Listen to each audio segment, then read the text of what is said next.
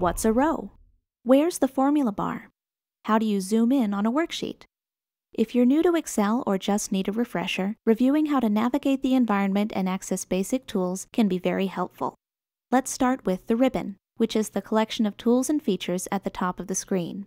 The ribbon is divided into tabs like Page Layout, Insert, and Home to help you find what you're looking for quickly and easily. Also making things easier to find is the fact that all the commands are kept together in groups. For example, the font group contains everything we need to work with text, including font color, size, and more.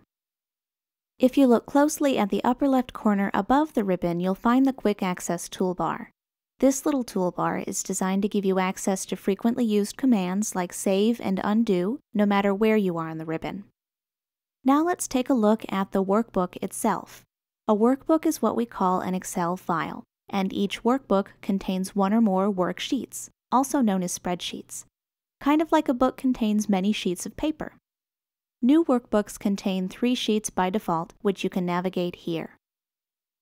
Every worksheet contains cells that are divided into columns and rows.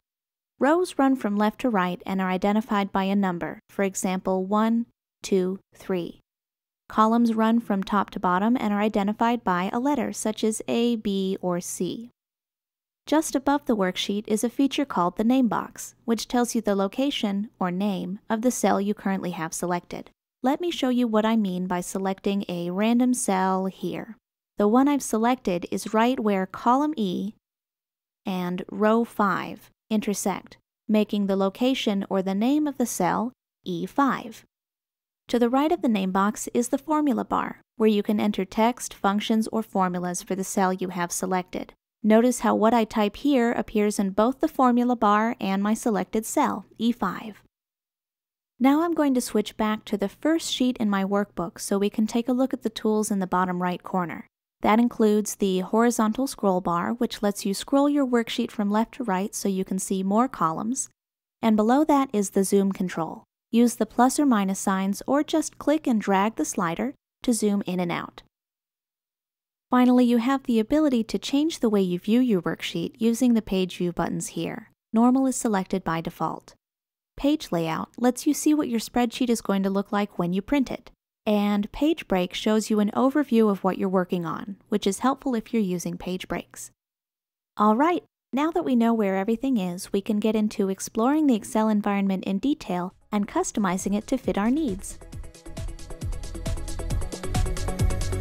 Like what you just saw? Rate it.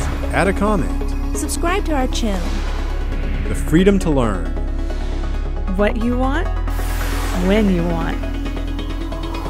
Absolutely free. GCF learnfree.org.